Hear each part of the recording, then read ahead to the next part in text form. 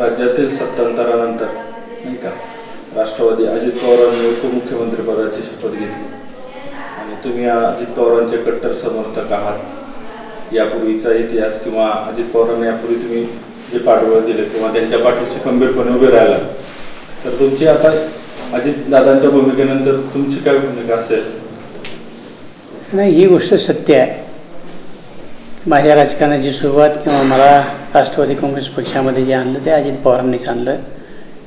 त्यांनीच मला त्या कालखंडामध्ये उमेदवारी दिली आणि आजपर्यंतच्या माझ्या सुखदुःखामध्ये अजित पवारच आहेत.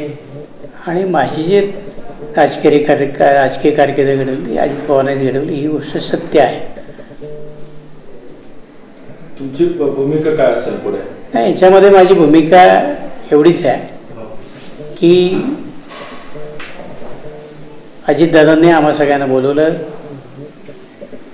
आम्हाला असं वाटलं की उद्याचं अधिवेशन आहे त्या संदर्भात काही चर्चा करायची म्हणून आम्ही सगळे मंडळी त्या ठिकाणी गेलो.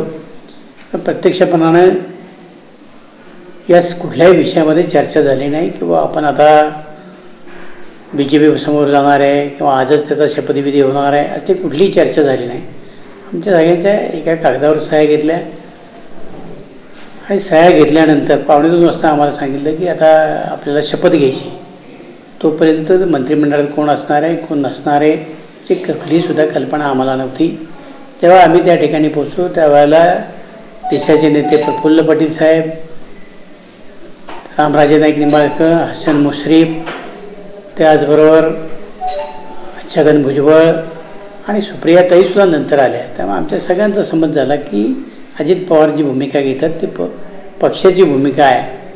आणि आम्ही सगळी मंडळीच त्या ठिकाणी शपथविधीला गेलो. आणि शपथविधीच्या वेळेला मात्र या त्या ठिकाणी सुप्रिया ताई होत्या बाकी सगळे नेते मंडळी होती.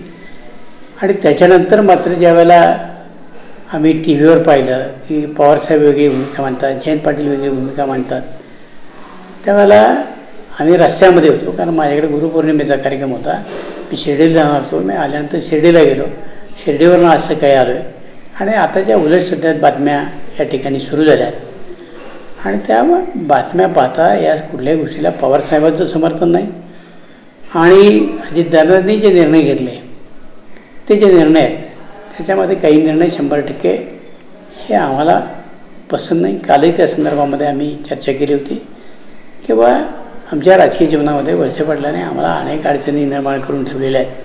म्हणून सातत्यानं मी विरोध त्यांना केलेला आहे. दादा असं सांगायचे की बाबा हे पवारसाहेबांनी घेतलेला निर्णय मी पवारसाहेबांना विरोध करू शकत नाही.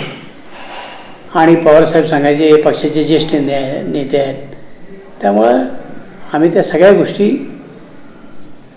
कानाडोळा केला कानामागे टाकल्या.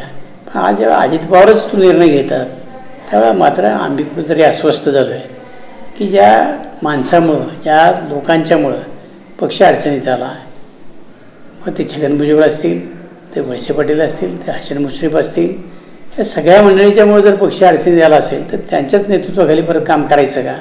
हा एक प्रश्न आमच्या सगळ्यांच्या मनामध्ये जातो आहे आणि मग आम्ही सगळे आमदार जरा अस्वस्थ झालेलो आहे.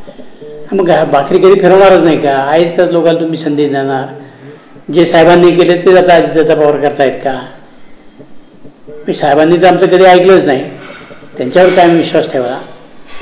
आणि आता अजित पवार जर ते करणार असतील तर आम्हाला आता आमच्या तालुक्यातल्या जनतेबरोबर निर्णय जावं लागेल. जनता काय म्हणते कार्यकर्ते काय म्हणतात या सगळ्या गोष्टीचा विचार करून भविष्यामध्ये मी माझा निर्णय घेणार.